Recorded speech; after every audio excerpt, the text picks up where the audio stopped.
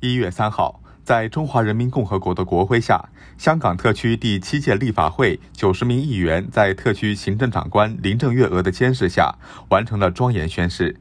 这是香港特区完善选举制度后产生的首届立法会，也是特区行政长官首次作为立法会监事人。有议员表示，中央完善香港特区选举制度，落实爱国者治港，确保了一国两制在香港的实践行稳致远。也确保香港社会长治久安。首先呢，我要感谢中央政府，佢喺香港最艰难嘅时候果断出手，先系落实港区国安法，然后完善香港嘅选举制度，让到我哋由乱入治，有一个新开始，可以喺呢个基础上呢，一齐推进良政善治。咁我期望呢，就係政治嘅环境呢，就会系大致趋向平稳嘅。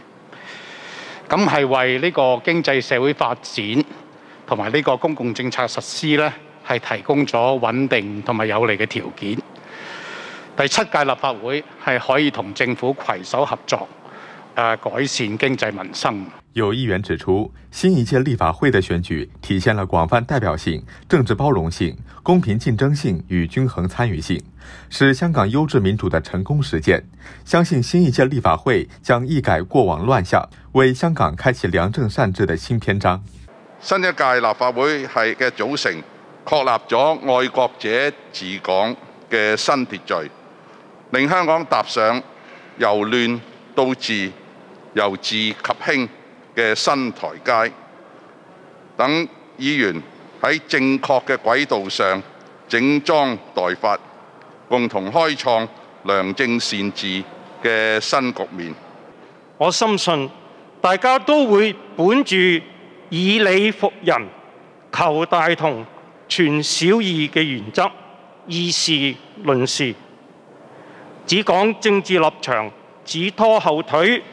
用拉布。點人數、走議會規則嘅灰色地帶，將莊嚴嘅議事堂變成鬥爭之地，呢啲令人憎厭嘅行為已經成為絕唱。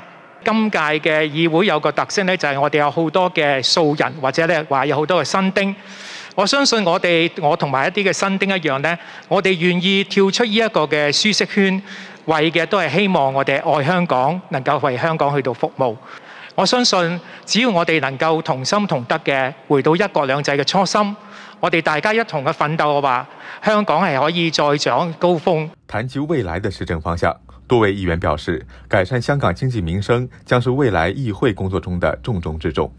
我哋要令到每一個市民喺香港都可以分享到香港經濟發展嘅成果。我哋呢一班嘅議員呢。日後咧入到議會，我哋首要嘅工作就係要解決香港嘅民生。作為今屆立法會最年輕嘅立法會議員，既係壓力，亦都係動力。我會着手去推動政府解決我哋深層次嘅民生經濟問題，包括社會公義嘅問題、青年發展嘅問題。而家其實四大支柱，香港嘅四大支柱佔咗 GDP 嘅百分之五十五以上。其實我哋真係應該善用呢個優勢。令到產業之間有更好、更多聯動、更多互補，揾到一啲新嘅誒增長點。同時間呢，我同各位同事都會一齊努力推進各項有利經濟發展同民生嘅發展工作。咁一齊呢，可以合力貢獻香港。議會只係良政嘅開始，民心先至善治根本。我希望我同八十九位嘅同事一齊去監督政府，協商議政，凝聚人民心。令到為國家、為香港貢獻更多嘅力量。